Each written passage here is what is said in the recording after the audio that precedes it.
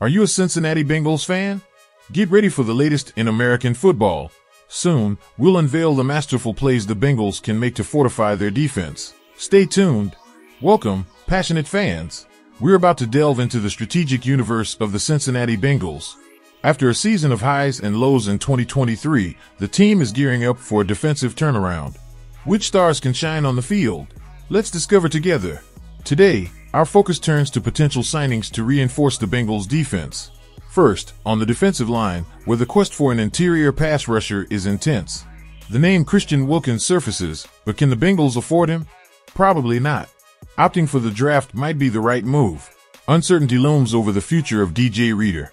What if Daquan Jones from Buffalo took on that role? A reliable run stuffer, Jones could be the missing piece.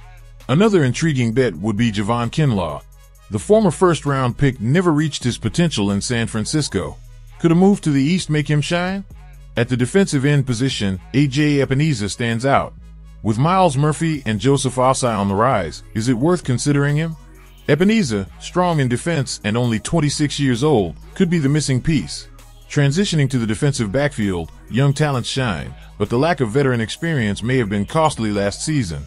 Justin Simmons and Jamal Adams are prominent names, but do they fit into the Bengals' plans? Geno Stone, at 24 years old, emerges as a promising option.